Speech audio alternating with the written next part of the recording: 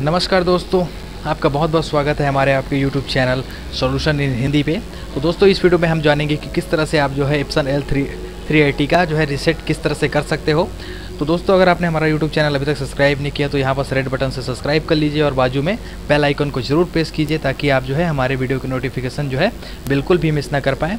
तो दोस्तों, चलिए वीडियो शुरू करते हैं और ये इस वीडियो को आप जो है लास्ट तक ज़रूर देखिएगा कि हो सकता है कि यहाँ पर अगर आप जो है इस वीडियो में आप जो है इप्सन 380 का जो है रिसीटर जो है आप यहाँ से पा सकते हो।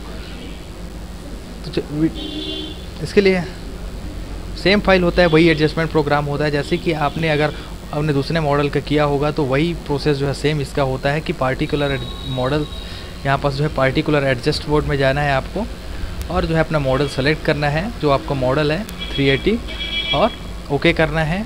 उसके बाद जो है नेक्स्ट मेनू आएगा यहाँ पर। जैसे कि हम जानते हैं कि इप्सन पे वेस्टिंग पैड काउंटर की वजह से सर्विस रिक्वायर्ड आता है। तो यहाँ पर जो है वेस्टिंग पैटर को सेलेक्ट कर दीजिए और मेन पैड काउंटर को सेलेक्ट करके यहाँ पर इंस्टलाइज कर देना है। तो इससे जो है आपका प्रॉब्लम जो है बिल्कुल ठीक हो जाएगा और जो है आपके प्रिंटर जो है काफ़ी रेडी हो जाएगा और आप जो है अपना वर्क जो है कंटिन्यू कर सकते हो। तो दोस्तों, बात यहाँ पर फिर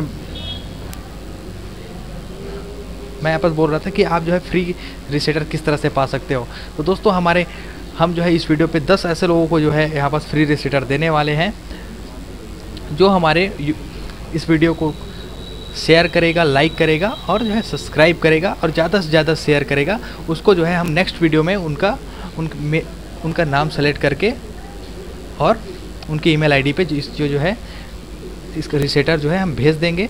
तो इसके लिए आपको अपना कमेंट्स भी करना है और कमेंट सेक्शन में अपना ईमेल आईडी भी डाल देना है।